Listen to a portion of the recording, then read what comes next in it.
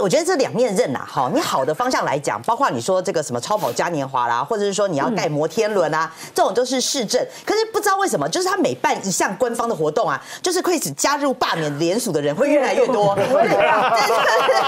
你怎么会这个你的仇恨值越吸越多，越吸越多了哈。那所以我认为说这个谢国良的部分，这个你坦白讲了哈，这个你要做跟社会沟通，这是一件事情。可是我必须要讲，就是他他在做这件事情的时候，感觉是就是独断独行，你都没有去听。请听在地民众的心声。当他那个摩天轮你要盖在哪里？盖在国门广场。嗯。可是国门广场，你对基隆男人来讲，他是有感情的。他是比如说从蔡英文总统啊，哈，甚至还有这个当时赖清德当院长，然后林林佑昌哈，花了八年更久的时间，他去打造。这个现在是变成，就是说在地人一个很休闲，然后甚至可以吸引观光客去的地方啊。